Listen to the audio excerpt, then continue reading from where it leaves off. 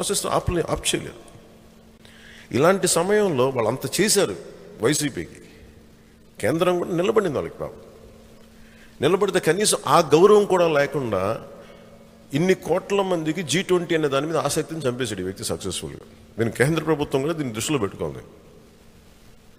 అలా కేంద్ర ప్రభుత్వం కూడా వీళ్ళు కూర్చోబెట్టి స్టేట్లో జరుగుతున్నాయి. చాలా క్షుణ్ణంగా వాళ్ళు పరిగణలోకి తీసుకోవాలి దీన్ని. చాలా లోతుగా అధ్యయనం చేయాలి దీని మీద. అది కూడా నేను కేంద్ర ప్రభుత్వంకి ఆ దృష్టికి నేను తీసుకెళ్తాను. ఇలా అందరినీ బెదిరించేసి ఇలా చేస్తే ఇంకెవరు అవరు ఎందుకంటే మీకు ఎనీ మూమెంట్ ఎనీ చేంజ్ ఏ మార్పు అయినా సరే యుద్ధం లేకుండా అయితే జరగదు. పాలిటిక్స్ సుఖంగా ఉంటాయని మనకి ఎవరు అనుకోకండి. ఏదో రెండు మాటలు టీవీలో మాట్లాడేస్తే రెండు మాటలు వాళ్ళు అనేస్తే సరిపోదు. ఇది ప్యూర్లీ ఫిజికల్ బ్యాటిల్ ఇది. యశస్విని గారు కూడా పాప ఆవిడ కూడా ఇది క్వశ్చన్ చేసినందుకు ఆవిడ మీద కూడా అటెంప్ట్ మర్డర్ కేసు పెట్టారు. అసలు ఏమన్నా ఉందా దీంట్లో? సెన్స్ ఉందా వాళ్ళకి? ఆవిడ కూర్చొని మన ఎవరినైతే అరెస్ట్ చేస్తున్నారని చెప్పి వాళ్ళ దగ్గరికి వెళ్తే ఆవిడ హైకోర్టు లాయర్ ఆవిడ ఆవిడ మీద అటెంప్ట్ మర్డర్ కేసు పెట్టి అడిగినాను ఎంత దౌర్జన్యంగా ఉంది. మరి అలా అలా ఎవడు చేస్తాడు ఇది? క్వశ్చన్ చేసిన వాళ్ళేమో అటెంప్ట్ మర్డర్ కేసు పెడతారు. మన వాళ్ళ మీద ఎంతమంది? పదకొండు మంది పదకొండు మంది మీద పెట్టింది ఆ రోజు? మీ మీ మీద కూడా పెట్టారు కదా? ఈ వ్యక్తి ఏమో కూర్చోబెట్టి వేల కోట్లు దోచేసి వాళ్ళ సొంత చిన్నాయన వివేకానంద రెడ్డి చనిపోయి వేళ్ళన్నీ వాళ్ళ ఇంటి వైపు చూపిస్తూ ఉంటే వాళ్ళకి సిబిఐ కోర్టు నుంచి బెయిల్ అపీ వాళ్ళకి వాళ్ళకి ఏమంటే అపీరెన్స్ అవసరం లేదనేది వాళ్ళకి వస్తుంది మనకేమో మన ఆఫీస్కి రావడానికి పర్మిషన్ దొరకవు మనకి. ఈ చట్టాలు నిజంగా పనిచేస్తాయంటే జగన్ అనేవాడు ముఖ్యమంత్రి కాలేడు. వివేకానంద కానీ చంపేసిన వాళ్ళు అసలు జైల్లో వాళ్ళు జైల్లో ఉండాల్సిన వాళ్ళు బయట తిరుగుతూ ఉన్నారు. చట్టాలు ఎక్కడ పనిచేస్తున్నాయి ఇక్కడ? మరి ఇలాంటి సమయంలో మనందరం ఏం చేయాలి?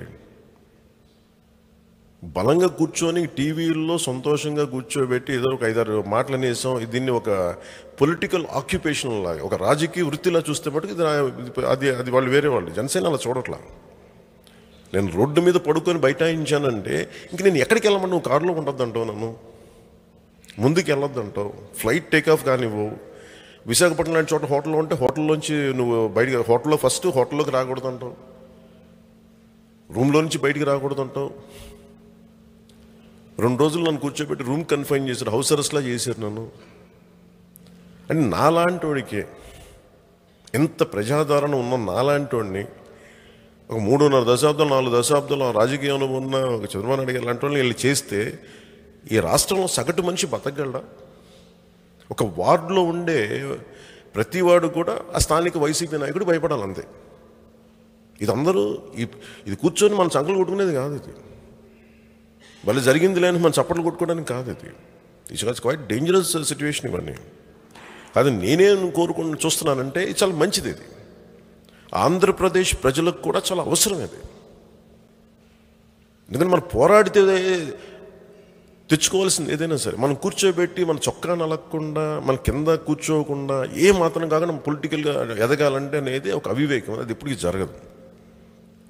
Let us take the contemporary political situation in the state as a challenge to grow to fight and to bring the needed change we deserve చాలా చాలా అవసరం.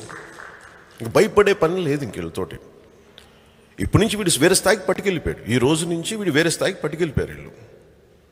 ఫిజికల్ బ్యాటిల్ కావాలని కోరుకు నేను పోలీస్కి అదే చెప్పాను మీకు మీకు యుద్ధం కావాలని కోరుకుంటున్నారా? ఏంటి? నాకు అర్థం కావట్లేదు అన్న. మీకు యుద్ధం కావాలంటే ఏం చేస్తాం? మీరు మేము కూడా రోడ్ల మీదకి వస్తాం. మాకు ఎవరు నేను నాలుగు కిలోమీటర్లు అటు నాలుగు కిలోమీటర్లు ఇటు నేను పొద్దున పదకొండు గంటల దాకా ట్రాఫిక్ ఏడున్నర ఎనిమిది తొమ్మిదికి పదకొండు గంటలకు రీచ్ అయ్యారు. మార్నింగ్ నాకు టెన్ థర్టీకి రావాల్సిన వాళ్ళు రాత్రి విజయవాడకి హైదరాబాద్ నుంచి పదకొండు పొద్దున పదకొండు గంటలకు రీచ్ అయ్యారు. అంత ట్రాఫిక్. మరి ఎవడన్నా మాట్లాడుతున్నాడా? నువ్వు నేను మద్యపానం నిషేధం చేస్త తీసేస్తానని చెప్పినోడు మద్యపానం మీద డబ్బులు సంపాదిస్తుంటే ఎవరు మాట్లాడరా? అని ప్ర- ప్రజలకు పట్టదా అనిపిస్తుంది ఇది మన ఒక్క సమస్య. జన నా పవన్ కళ్యాణ్కో జనసేనకో మన సమస్య కాదు ఇది.